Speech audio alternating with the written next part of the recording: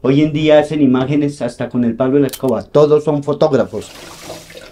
Este es el rey del laboratorio, el termómetro. Normalmente la agitación lo que se pretende con eso es contrastar. Yo en estos reveladores como Rodinal diluyo 1 a 50 y agito el primer minuto continuamente. Y de ahí en adelante agito cada 40 segundos.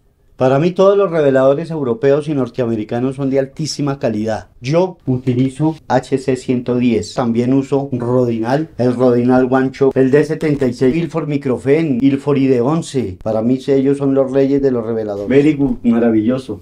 Blanco y negro con buena gama de grises. Esta niña se va a poner feliz porque apenas empieza a hacer placa. Entonces la función mía es evitar de que se aburra, de que le quede grande, de muchas cosas. Cuando conocí al señor Stephen Ferry, se hizo en la puerta y me dice, señor, ¿usted cómo diluye? Yo le contesté 1 a 50. ¿1 a 50? Este es el sitio que yo busco. No recuerdo muy bien si me trajo 500 o 600 rollos para el proyecto de violentología. Y eso trascendió el mundo entero. El tipo vende por todo lado muy buenas fotos. Ese es un gran fotógrafo. Por aquí ha pasado la crema innata de la fotografía pura, que es la fotografía química. Es que yo lo hago con tanto amor que todos los días que me levanto quiero que siga, que haya un legado y que detrás de nosotros sigan habiendo muchachos que hagan alta fotografía. Y creo que esa es la tarea de nosotros los viejos, hacer que los muchachos se enamoren de la pura fotografía.